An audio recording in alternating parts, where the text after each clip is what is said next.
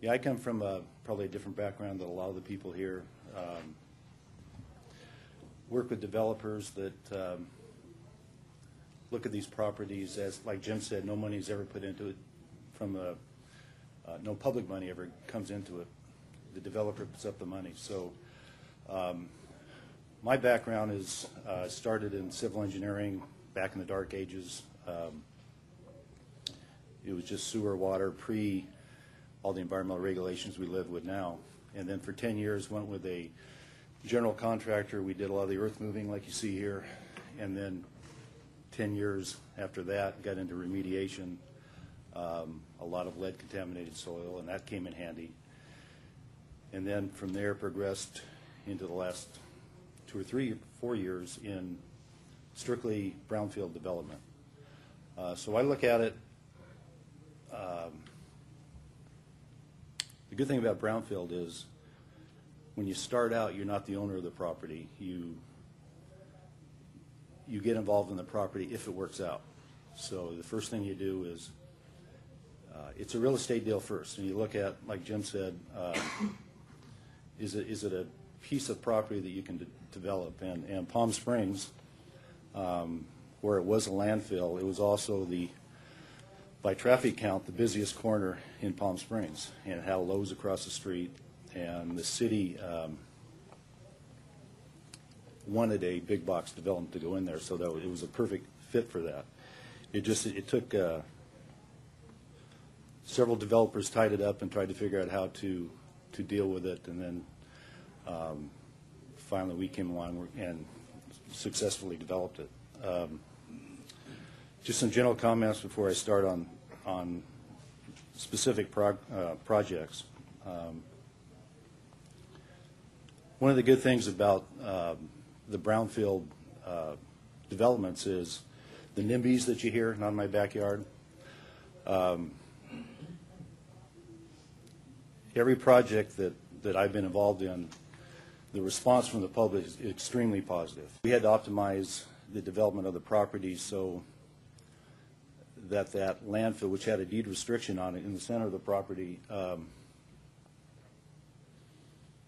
was in the best location to have the development around the outside of it. So there were like 50 iterations with an architect, with an engineer, with Home Depot, with Kohl's, trying to optimize the location of the cell. And every time we, if we shrunk the cell, you had the same amount of volume, you had to lower the cell to get the same amount of volume in the, in the landfill. Um, So entitlement's important. It- There's a balance of, of when you get involved in this. um, There's a risk of the cleanup cost, there's a risk of the entitlement. Can you, and you have to do the same thing, the same, the approval process at the same time. And they can take two or three or four years to get through that approval process, and so it's a, you know, which one's going to get to you? Do you spend the money for the cleanup and not, not get the uh, entitlement? And you, but you have to have both work to, to have it succeed. Um,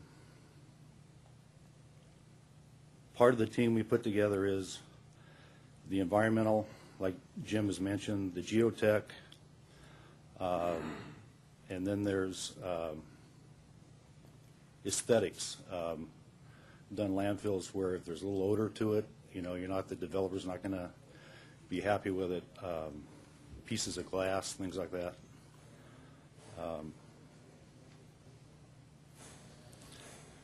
And then the key putting together a team is, uh, to make it work, you- they all have to be confident. Everybody on the team has to be confident that, for what they do. Jim's extremely confident in what he does, and when Jim says it'll work, that, yeah, we can leave those, that uh, contaminated material in place, you know, you get confidence from him, the geotech, the grading contractor that's not afraid to deal with this kind of material. And uh, so let me then go ahead and go to, in general on Palm Springs, uh, again, I think the key thing was, we had to, design of the cell changed like 50 times before we had uh, a plan that would work. Uh, One key thing that I found in all the landfills I've done, they're, they all, I've done like six that have been on the SWIS list. but they're all pre-regulation landfills. They're uncontrolled landfills like this was, not official landfills. And the key to deciding if you can develop or not is trying to get a feel for what's, what really is the, the representative type of material that you have out there.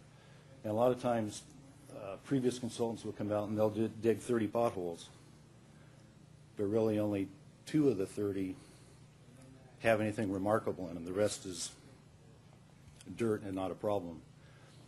But a lot of the, a lot of the, so then they cover up the other 28 uh, potholes. And people tend to think the two that were the remarkable, that had the heavy trash or the heavy odor or something like that, becomes what they think is the representative of the landfill, and it's not. And in this case, like Jim said, by the time we moved the conglomerate, the aggregate of the material, um, I know from previous working with Caltrans, Caltrans will allow like 5% organics in a structural fill. Well, I- I'm guessing that this, the organics, by the time we moved 600,000 yards of material, the organics probably was 5%. And then again, it was deed restricted for just parking area in the center of the, of the property. Um, Buildings weren't built on buildings were built on the outside that had clean fill. The existing landfill was three to 23 feet, and, but then we consolidated, and the cell became like 45 feet deep. It's real easy to see the interface when you're out of the landfill and you're into native, as opposed to um, a lot of remediation projects where if it's a VOC or if it's a um, lead that has leached into the soil, you can't really see where the interface is, but we, you can see immediately when you get out of that, out of the, the landfill and into native, so it allows you to be extremely productive on moving the dirt, and you, you try not to move dirt more than once. City of Commerce, it was right in this area, there, there was a, a landfill, there was 150,000 uh, cubic yards, consisted of debris from the Long Beach earthquake in 1920-something, and rubber from a rubber processing plant. Notable thing on this was we had a newspaper of the 1920s that you could read that had an article on um, Mulholland bringing water down and, and Mary Pickford, and you could read this, this whole newspaper. So the point of that is there wasn't a lot of degradation. Um, I think every landfill I've done has been that case, but the lesson we learned on this was we tried to separate. We took the, this aggregate up, and then we tried to separate it. Um, And by separating out the large pieces of rock, the, the probably half-inch pl- uh, plus fraction, the half-inch minus fraction, we actually um, created uh, lead-contaminated soil that um, in situ, about a third of the soil failed the STLC or TTLC for lead. When we brought it up, screened it, we kind of isolated, we, we concentrated that and actually had more failures because we did that. So I, I've avoided doing that since that because that was, that created a lot of cost. And the last project, uh, cemetery in uh, Palos Verdes, right in this area, adjacent to the cemetery, they, they had a rock quarry, and for years took out rock, and then for years they brought in uh, foundry sand that was lead contaminated. And here we consolidated the landfill in this area, a liner underneath it, then the, the contaminated material, another liner, and then eight feet of clean soil, and then the cemetery burial plots on top of that. You.